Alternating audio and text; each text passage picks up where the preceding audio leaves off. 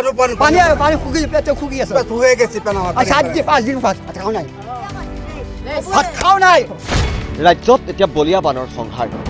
সংহাৰী বানৰ ফলত তচনচ হৈ পৰিছে জনজীৱন। তাৰ বিপৰীতে ৰজাঘৰীয়াই উচিত পদক্ষেপ নোলোৱাৰ অভিযোগ বৰ্ণাঢ্যৰ এইবাৰ নিজ সমষ্টিতে ক্ষোভৰ সন্মুখীন হ'ল ৰাজ্যিক বিজেপিৰ সভাপতি ভৱেশ কলিতা। ৰঙিয়া সমষ্টিৰ হীৰাপাৰাত উপস্থিত হৈছিল ভৱেশ কলিতা। কিন্তু তাৰ পাছৰ দৃশ্য এয়া।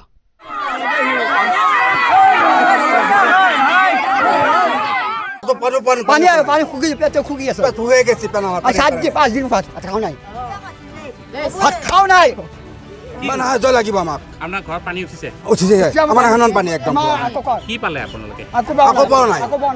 পোৱা তাক লাগে আমাৰ ৰাইজৰ মানুহ একদম গাঁৱৰ মানুহ একোৱে পোৱা নাই তাক লাগে।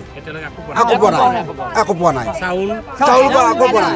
একোৱে নাই। দালি দিলোৱা তেল তাই পোৱা পানী একো একো নাই। একো নাই। একো পোৱা নাই। কি পাইছে আপুনি? আকৌ পোৱা। আকৌ পোৱা আকৌ পোৱা এতিয়া চাউল দালি আকৌ নাই। আকৌ একো নাই। পোৱা নাই আমি। আকৌ পানি পানি শুকি পেটে শুকি আছে। পেট হয়ে গেছে পেন আমার আর সাত দিন পাঁচ দিন ভাত ভাত খাও নাই। ভাত খাও নাই। বান সাহায্য নোপোৱা বন্যাত্ৰৰ ক্ষোভৰ সন্মুখীন হ'ল বিধায়কগৰাকী।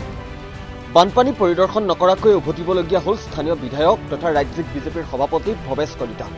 সমষ্টিটো প্ৰায় নাইণ্টি পাৰ্চেণ্ট ক্ষতি কৰিছে এতিয়া আমি আকৌ আমাৰ যিখিনি ভাঙি আছে তাত যাম তোমাৰ বতৰা সৃষ্টি বিভাগৰ মন্ত্ৰী ডাঙৰীয়া আহি পাইছে আকৌ আবেলি ইয়াত আহিব লাগিব দিন ৰাতি আমি ঘূৰি আছোঁ সমষ্টি সকলোতে পাইছে কিন্তু চব আমাৰ অসুবিধা আছে চৰকাৰে কৰিও আমি পঠাব পৰা নাই কেম্প ক'ত আছে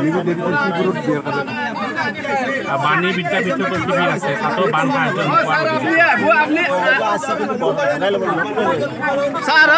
আপনি আমাক কুচো এডাল দিলে আমি মানছি আমি কিন্তু দালালৰ দ্বাৰা নেথাকো।